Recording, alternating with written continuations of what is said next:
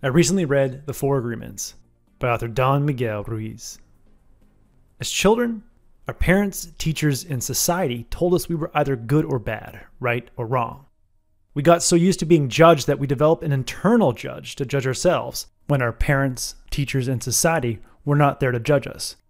This internal judge, left unchecked and unchallenged, finds fault in everything we do and punishes us for making a mistake over and over. It's like we're living under an authoritarian ruler. We live cautious lives and waste a ton of energy monitoring our every move. The way out of this nightmare is to commit to the four agreements. When we commit to the four agreements, we free ourselves from the rule of the inner judge and can use the energy that was once used up by the inner judge to create a magnificent life. Agreement number one be impeccable with your word. The word impeccable comes from the Latin word im and which means without sin. The biggest sin you can commit, author Don Miguel Ruiz says, is self rejection. When you repeatedly judge yourself for making a mistake and habitually think, I'm an idiot, you're engaging in the mortal sin of self rejection. When you agree to be impeccable with your word, you agree to stop repeating words that make you feel worse for something you did. Berating yourself is pointless and just distracts you from taking corrective action. It's like taking an exam for a second time and having someone behind you saying, You know, you screwed up last time, right? Why did you screw up?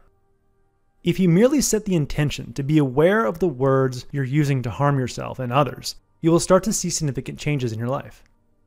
It's like when a person sets an intention to eat less sugar and takes pictures of what he eats so he's more aware of what he's eating. He ends up reducing the amount of sugar he eats and feels better. It's not enough to stop judging yourself. You need to stop judging others because the more you judge others, the more you will judge yourself. Judging others is like throwing a boomerang that returns to hit you in the back of the head. So when you go to bed each night, reflect on the quality of the words you said to yourself and others during the day. Imagine every word you said to yourself and others was broadcast to every phone in the world for everyone to hear. Then ask yourself Did my words uplift people, or did they depress people? Agreement number two don't take anything personally. When a person insults you, imagine that person is full of poison, and their words are poison being thrown at you. If you take their insults personally, you will ingest that poison. Once ingested, the poison will take over your emotional operating system and make it hard to think clearly. You will be enraged and feel like a victim. Stop feeling like a victim by remembering that nothing people do is personal. Even if someone takes out a gun and shoots you, it's not personal.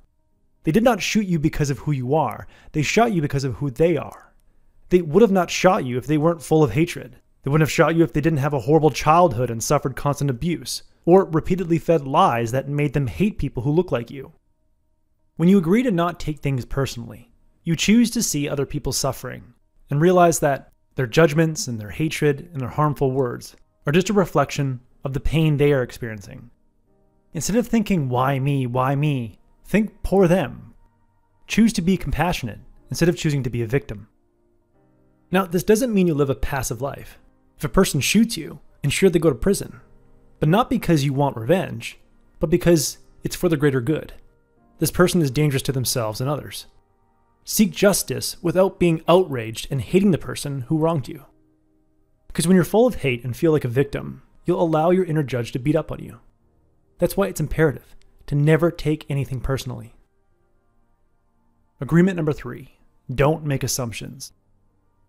If you routinely make assumptions, you will have multiple interpersonal conflicts that will make it hard to not take things personally. I've made assumptions that have led to unnecessary fights with people in my life. When I had a roommate after college, I assumed it was okay to leave the dishes in the sink. I assumed wrong. If I had clarified the house rules, I could have avoided several fights with my roommate. When you screw up because you didn't have the courage to ask a question to clarify an assumption, you give your inner judge ammunition to shoot you down.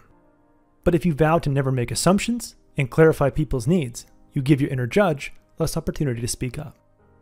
Whenever you have an ounce of doubt, clarify. Agreement number four always do your best. Honor this agreement, and your inner judge will have no basis to judge you on. In the book, author Don Miguel Ruiz says, If you've done your best and the judge tries to judge you according to your book of law, you've got the answer. I did my best. Think of times you've walked away from a performance, not knowing if you'd won or lost, but knowing deep down that you did your best. Remember that peace that you felt. Even after you failed to get the reward you expected, the job or the trophy, you still had no reason to judge yourself.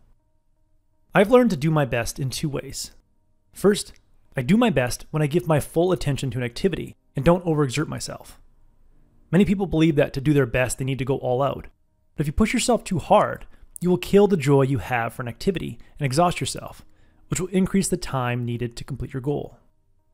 And second, I do my best when I forget about the rewards or punishments I expect afterwards and just focus on getting better.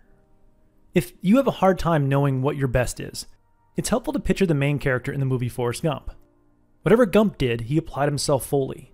Whether it was playing football, fighting in Vietnam, playing table tennis, captaining a shrimp boat, or running, he simply immersed himself and seemed to enjoy what he was doing. Like Gump, do your best by doing your best to enjoy the process.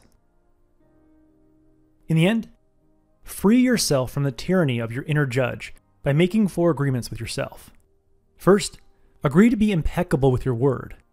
Refrain from using words to project yourself and judge others. Second, agree to never take anything personally.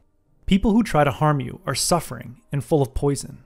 Do not eat their poison and feel like a victim. Third, agree to not make assumptions. Find the courage to ask questions and clarify people's needs.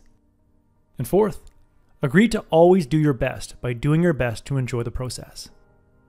If you fail to uphold any of these four agreements, forgive yourself and start over. Each day is a new opportunity to honor the four agreements. Gradually, the four agreements will become second nature, and you will find yourself on the path to personal freedom. That was the core message that I gathered from the Four Agreements by Don Miguel Ruiz. This is a highly practical spiritual book that provides great insights I highly recommend it.